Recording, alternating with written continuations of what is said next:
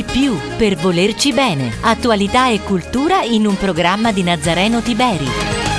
Salutiamo gli ascoltatori di Radio Nuova Macerata perché la Benvenuti. zattera di Alice è partita, no? Eh, Sì. Lo chiediamo a Martina che è qui con noi. È ripartita e riparte con i ragazzi che abbiamo qui del primo laboratorio di teatro spirituale. Oggi ci, na- ci narreranno la leggenda della creazione. Quindi i Una- ragazzi che sono qui in studio, eh? I ragazzi che sono qui in studio sono otto ragazzi che quindi ci, eh, ci narreranno questa leggenda che abbiamo voluto presentare come l'atto supremo di Dio. Abbiamo voluto te- attenerci scrivendola all'anima eh, favolosa della Genesi e custodire, trasmettere una leggenda è davvero un gran bel compito. L'uomo, l'uomo da sempre ha trasmesso ai suoi figli le proprie storie, i propri miti. Ma che cosa significa creazione? Essere creazione non significa certo essere uguali a Dio, tutt'altro. Significa ripristinare quel legame di creatura, di, di creatura di Dio, sentirsi creatura. Noi abbiamo perso l'orgoglio e il senso di- dell'essere creatura, perché esserlo significa avere un legame speciale con il, con il creatore, un rapporto unico, un rapporto appunto mitico, favoloso. Se andiamo indietro nel tempo e se pensiamo che tutte le culture eh, hanno un mito della creazione, una storia della creazione, che è stata tramandata di padre in figlio, di generazione in generazione, ci rendiamo di conto di quanto sia importante per l'uomo, per, tu- per tutti gli uomini, non solo per i bambini, ritornare all'infanzia delle cose. Che cosa avrà pensato il primo uomo quando ha chiamato per la prima volta il cielo cielo? Sarà scorso un po' d'azzurro? Ascoltiamolo allora con la leggenda della creazione. Diamo il via. Primo Dove- atto. Beh, I bambini sono seduti a terra, intorno a loro un grande prato verde. Dove vai con quel libro enorme? Questo non è un libro, è la Bibbia. Qui Dio crea il mondo. E poi non hai sentito la maestra? Bisogna fare un tema sulla creazione. Immagi- immaginare la creazione. E che tema è? Noi non c'eravamo. Come facciamo ad immaginarlo? E poi ho visto in tv che il mondo è venuto con una grossa esplosione. Sì, e poi sono venuti i dinosauri, anche in cielo. Anch'io non so come farlo. Uffa, e adesso? Ma voi non sapete che bisogna andare su internet? C'è tutto su internet. Basta cercare. Scrivi la parola colazione. Ma che colazione! Creazione! Va, qui c'è solo una foto di un uomo nudo. Niente. E adesso? Dai, andiamo via, sta scendendo il sole. No, non andate, non è ancora sera.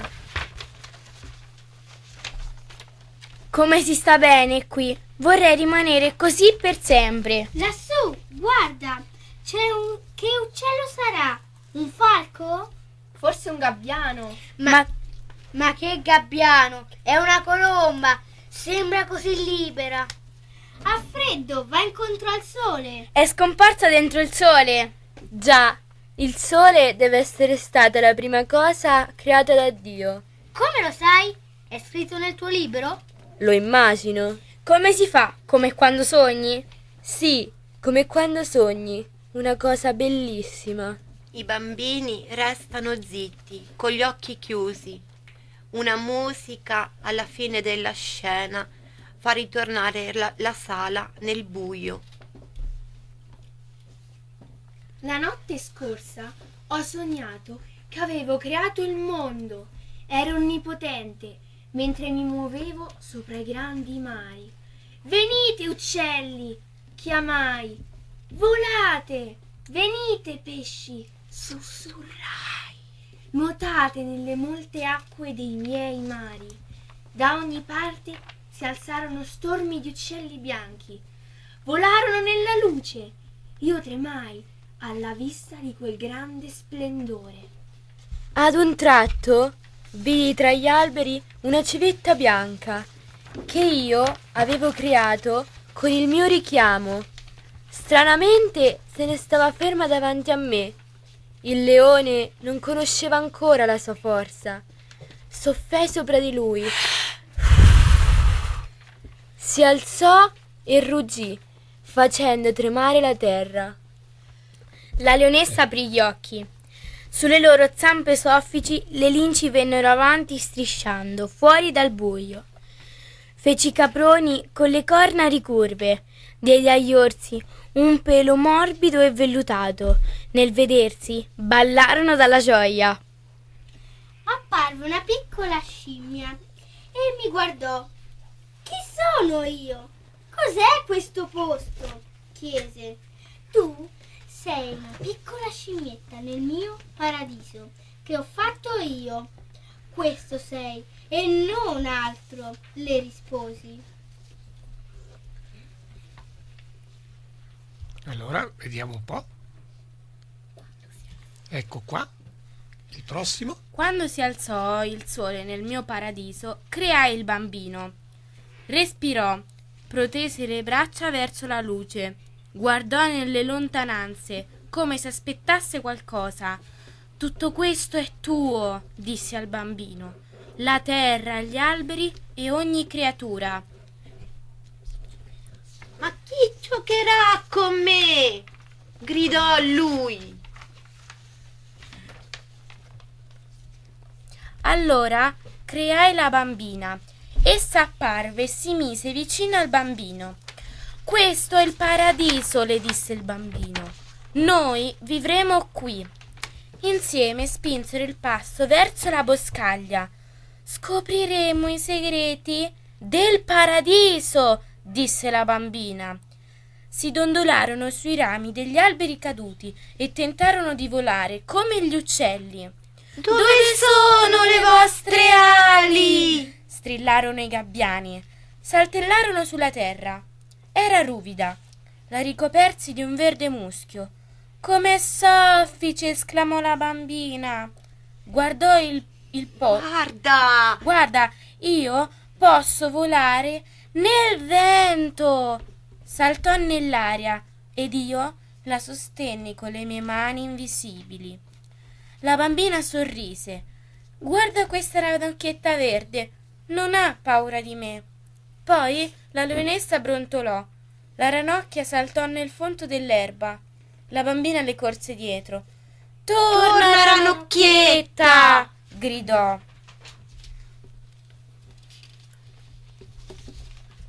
Ad un tratto la bambina si accorse che era sola.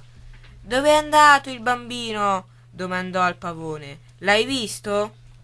Io sono stato appena creato, rispose il pavone. Sono troppo occupato ad ammirare, ad ammirare me stesso per vedere qualsiasi altra cosa.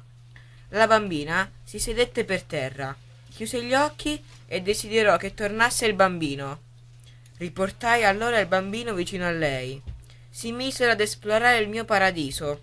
Trovarono alberi carichi di boccioli profumati e tanti frutti. Arrivarono ad un albero carico di lucide mele. Non, Non mangiate mangiate le mele! Io sussurrai. C'è dentro il veleno. Se le mangiate, l'incanto del paradiso si romperà. Un furbo serpente si sporse da un ramo. Mangiate, mangiate, le mele! Bisbigliò. Hanno un così buon sapore, un, Un così buon sapore! La bambina esitò, ma solo un minuto. Sono bellissime queste mele lucide, disse. Io devo assaggiarne una. Se è cattiva, potrò sempre sputarla. E allungando la mano, colse la mela avvelenata. Ogni creatura nel paradiso trattenne il fiato. No! sussurrarono le scimmie. Non cogliere quella mela! Lasciala stare! Lasciala stare! implorarono. La bambina colse due mele dall'albero, una per sé e una per il bambino. Niente io potevo fare per fermarli. Quando ebbero mangiato le mele avvelenate, quelle che io temevo avvenne. Il sole tramontò sul mio paradiso. La bambina volse le spalle, non aveva più voglia di giocare. Il bambino era turbato, la gioia se n'era andata dal mio paradiso. Uccelli bianchi si affollarono nel cielo, urlando nel buio. Dove sei? gridò il bambino alla bambina. Vieni da me! Ho freddo e ho paura! disse il bambino. La bambina lo confortò. Io non ho paura, gli disse, o almeno mi pare di no. Allora io sognai che facevo sorgere il sole. Non ho paura quando c'è il sole, disse il bambino. Camminiamo verso il sole, disse la bambina. Così, così non avremo più paura. Il bambino prese la bambina per mano e se ne andarono via dal mio paradiso. Non li potevo fermare, ma vorrei fare in modo che il sole risplendesse su di loro per sempre. Ecco, bel applauso. Bravissimi.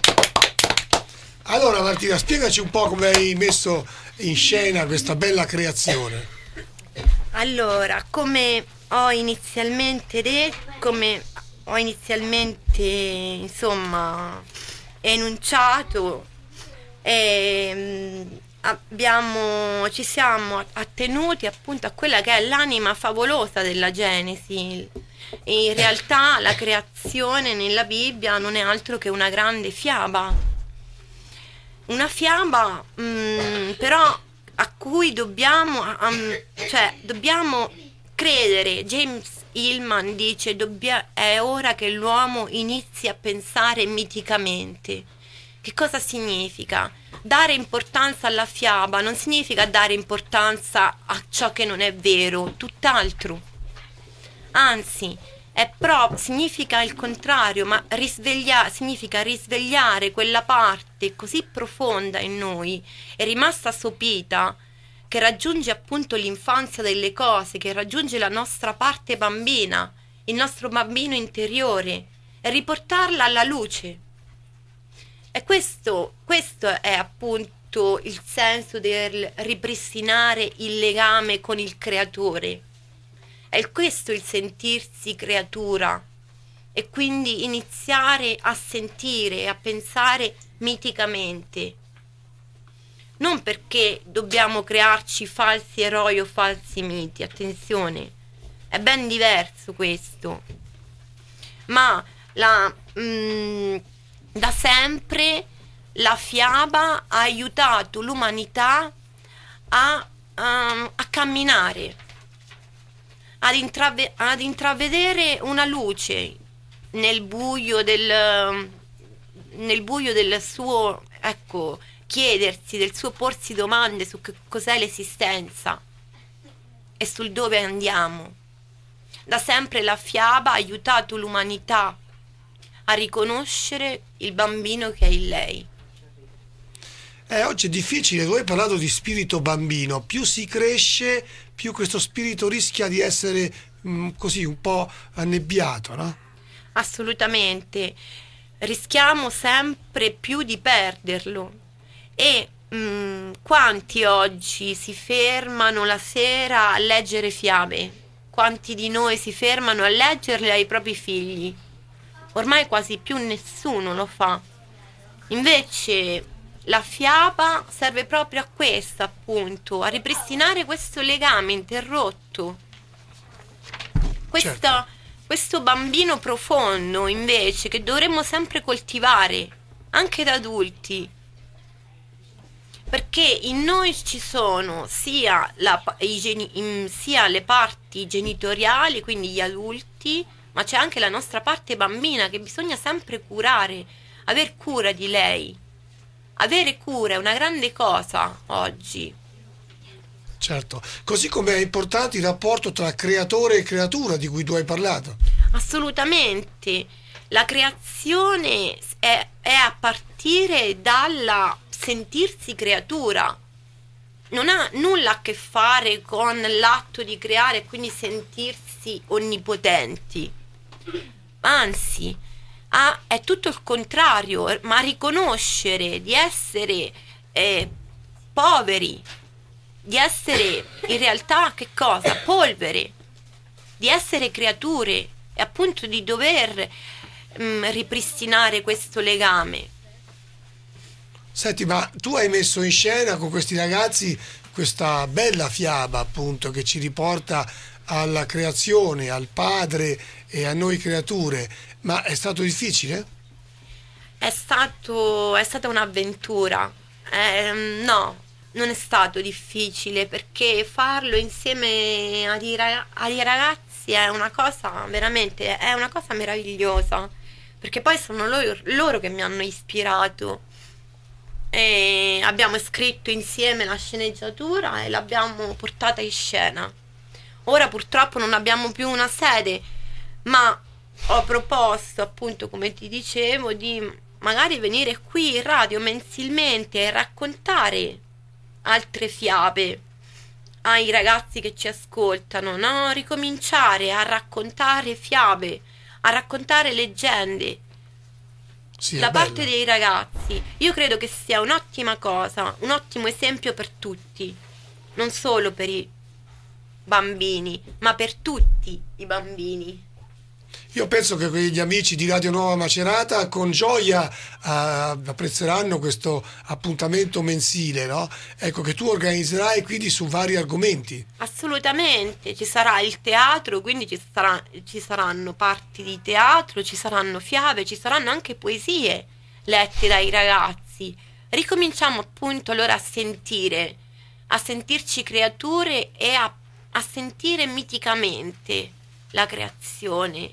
In fondo, intorno a noi siamo pieni di cose belle da guardare. Eh, I bambini ce lo insegnano ogni giorno. Cioè il loro sentire è molto più vicino alla creatura di quanto poi invece lo è il sentire dell'adulto.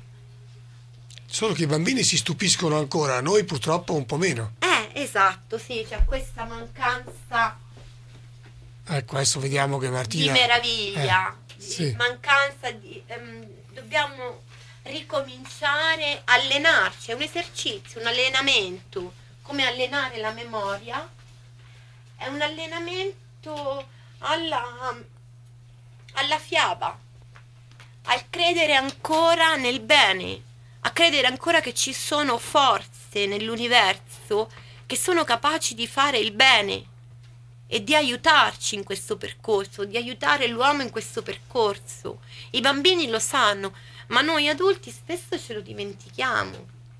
Come mai noi adulti c'è questa dimenticanza?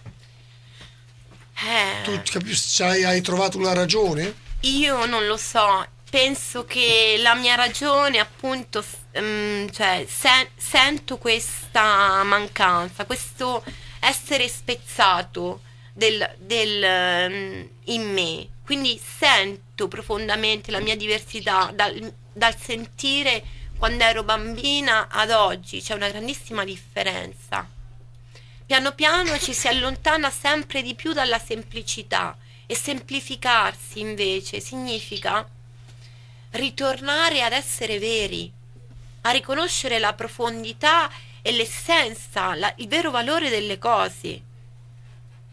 Oh, direi che i genitori allora dobbiamo un po' aiutarli a non scordarsi di raccontare fiabe. Assolutamente. Io credo che anche noi, noi adulti abbiamo bisogno di fiabe. Bis- bisogno di credere nelle fiabe come nei sogni.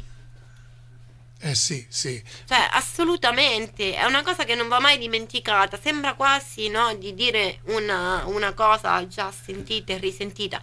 In realtà non è così.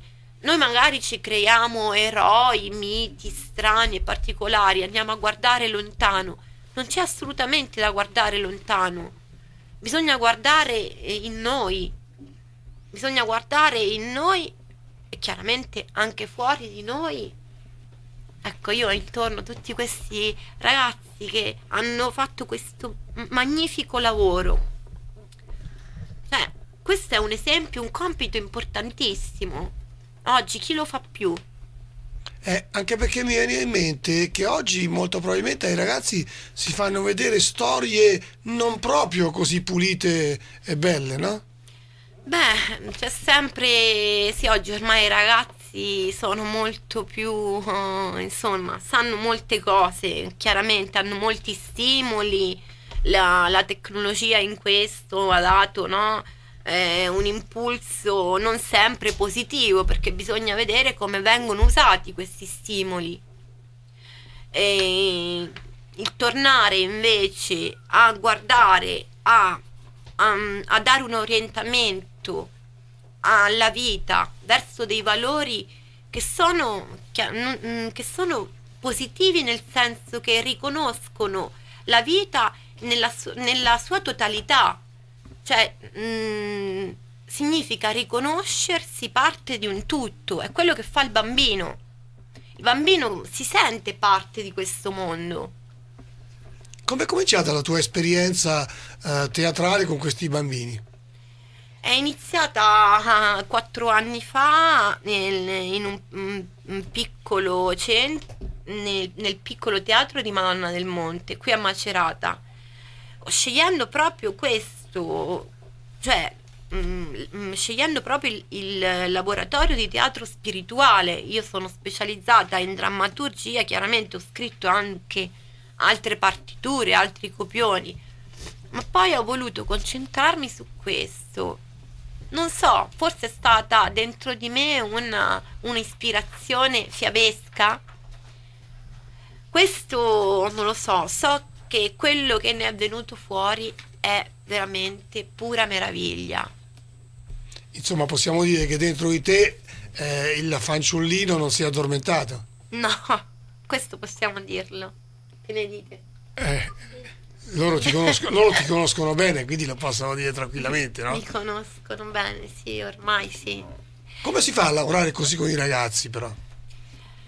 Eh, beh, eh, è anche merito loro, voglio dire, non tutti sono capaci di seguire in questo percorso, c'è chi mi ha seguito e chi non mi ha seguito, è stata una loro scelta, una scelta be- ben precisa, anche dovuta alle, alle, famiglie, chiaramente. Avere una famiglia che, mh, mm, che, ci spinge a fare questo, a trovare questo filo, a, a sentirsi veramente bambini e vivere la propria fanciullezza nella sua com- complessità, ma anche nella sua pienezza. È, è molto bello. Certo. Senti, già ci puoi anticipare cosa preparerai per il mese prossimo?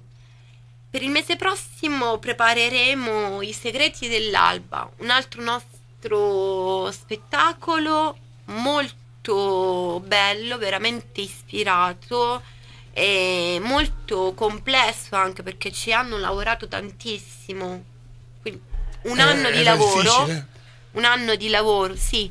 Quindi io vi invito a sintonizzarvi ancora appunto a cadenza mensile perché ascolterete, avrete modo ancora di ascoltare come si può orientare veramente un ragazzo verso la creazione e anche la, mm, la visione di un futuro qualificante.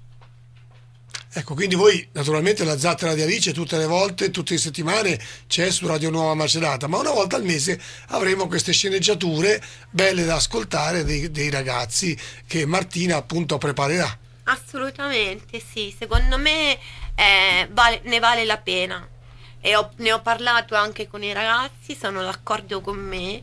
È un compito a cui mi sento di, ecco, di mm, non sottrarmi, di, di assol- a cui mi sento di assolvere. Certo, allora io direi che per oggi eh, qui su Radio Nuova Macerata possiamo chiudere la zattera di Alice eh, salutando i bambini e tutti, no? Volete eh, salutare ragazzi? Forza, ciao, presentiamo, ciao, su. presentiamoci. Eh, col nome, col con nome. il nome. Vediamo un po'. Emanuela. Ciao. Micozzi. Bene, poi? Edoardo. Ecco Edoardo. Micozzi. Micozzi. Vediamo il prossimo. Eleonora Micozzi. Tutti Micozzi qua sono. Voi quanti bambini? Poi? Anna Vaccito. Anna, benissimo. Giorgia Pirro. Giorgia. Zoe Gatinari. Come ti chiami? Zoe Gatinari. Zoe, ecco, un nome Zoe. molto originale questo. Sì, vita. Esatto. Un inno alla vita, allora. Bene, allora noi ci salutiamo così per oggi e l'appuntamento con i bambini è tra un mese, mentre con Martina Sole tra una settimana. Tra una settimana vi, vi saluto a tutti, grazie per essere